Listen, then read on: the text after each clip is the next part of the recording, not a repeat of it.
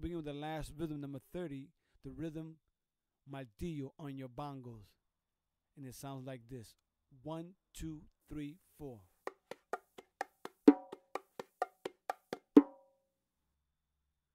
One, two, three, four.